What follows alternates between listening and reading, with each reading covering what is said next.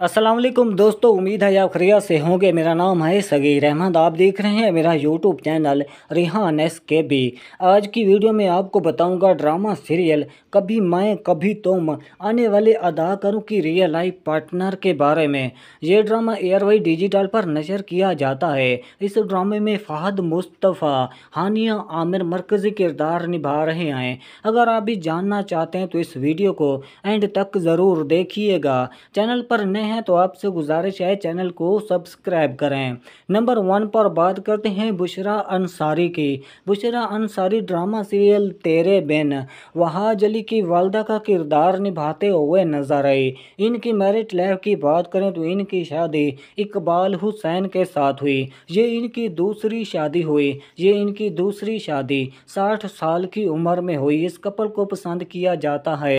अब बात करते हैं कामयाब अदाकारा माया खान की। माया खान ड्रामा सीरियल मैरी में बहुत ही अच्छी एक्टिंग करते हुए नज़र आई। इनकी एक्टिंग को बहुत ही पसंद किया गया था। इनकी मैरिज लाइफ की बात करें तो असल ज़िंदगी में शादीशुदा है। इनकी शादी ज़्यादा देर ना चल सके और इनकी तलाक हो गई। अब इन्होंने दूसरी शादी नहीं की। अब बात करते हैं ऐनी जैदी की। ड्रामा सीरियल फतूर में वहाज अली की वालदा का किरदार निभाया था। बहुत ही अच्छी एक्टिंग करते हुए नज़र आए इनकी मैरिट लाइफ की बात करें तो असल ज़िंदगी में शादीशुदा है। इनके शो ड्रामे शोबे से बिलोंग नहीं करते।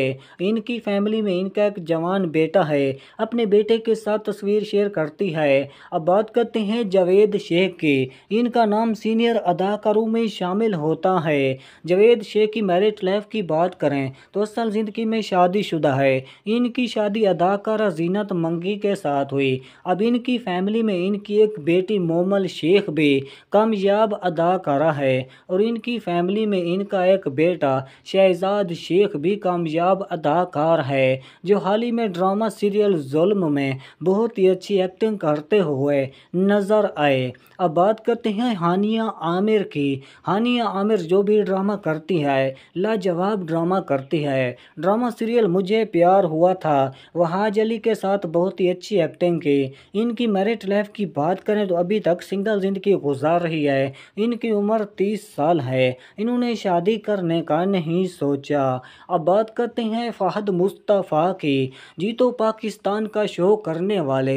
अब ड्रामा सीरियल। कभी मैं, कभी तुम। मरकज़ी किरदार निभाते हुए नज़र आ रहे हैं। बहुत ही अच्छी एक्टिंग कर रहे हैं। इनकी मेरिट लाइफ की बात करें तो असल ज़िंदगी में शादीशुदा है। इनकी शादी सन्ना फ़हद के साथ हुई। अब इनकी फैमिली में इनका एक बेटा, इनकी एक बेटी है, इनकी फैमिली को पसंद किया जाता है। ये थी हमारी आज की वीडियो। इन अदाकारों में आपका पसंदीदा अदाकार कौन है? कमेंट सेक्शन में ज़रूर बताइए। चैनल पर नए हैं तो आपसे गुजारिश है, चैनल को सब्सक्राइब करें। साथ में लगे बेल आइकन को प्रेस करें। अल्लाह हाफिज़। दुआ में याद रखें। आपको मिलते हैं नई वीडियो, नए टॉपिक के साथ।